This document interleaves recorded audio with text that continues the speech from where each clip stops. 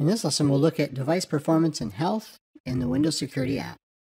Let's open the Windows Security app and select Device Performance and Health. Now right at the top, we see a health report. The health report is intended to alert you to issues with your system and offer recommendations to resolve them. Green check marks mean all is good. Yellow would indicate a problem, and you can expand the alert to see recommended actions. Some recommendations will require admin access to implement them, and of course, red alerts, if you see these are serious, they indicate a more immediate action should be taken. If there's an alert, you'll see the security app icon down in the notification area also visibly letting you know something needs your attention, and you may even see a banner notification or two for the alert. The problems that show up here may not always be serious, and they may even be false alerts in some cases, so don't panic if you see an alert, just check to see what the alert is for. The items included in the health report have changed with updates as well, so you may see slightly different items here on your device. For example, in the past, device driver health would appear here. Also, I've noticed that the order that these are listed will vary from one device to another. The dashboard on this device shows the Windows Time Service. Now, if your time service is disabled for some reason, you would see an alert and the recommendation to enable it.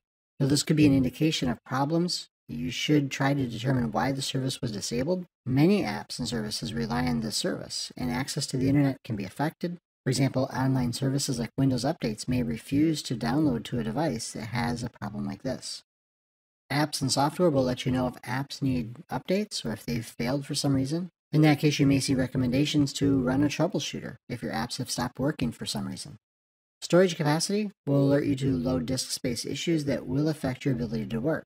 Suggested steps might include disk cleanup or looking at tools in the Settings app for managing your storage.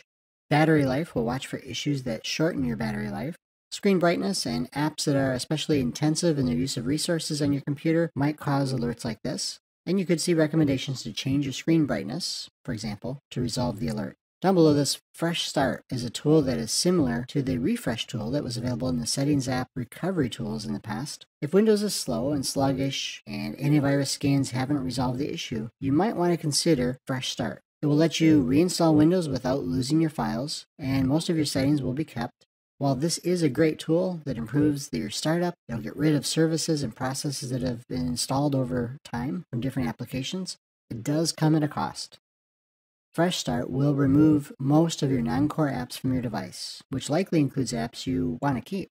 Applications like Microsoft Office, third-party antivirus software, and any desktop apps that came pre-installed on your device will be gone.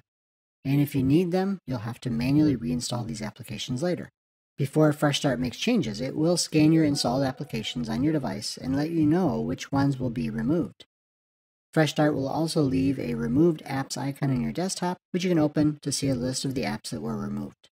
And of course, depending on the application, you may need to come up with some licenses. Also, downloaded digital content that's associated with an app could have been removed. So, Fresh Start is not something you will use very often. It shouldn't be your first choice in resolving problems, but it's an important recovery tool that's very effective. It could really help restore performance on your device. We're going to look closer at recovery options in a separate lesson. In this lesson, we've looked at your device performance and health in the Windows Security app. Thank you for watching, and I look forward to seeing you in the next lesson.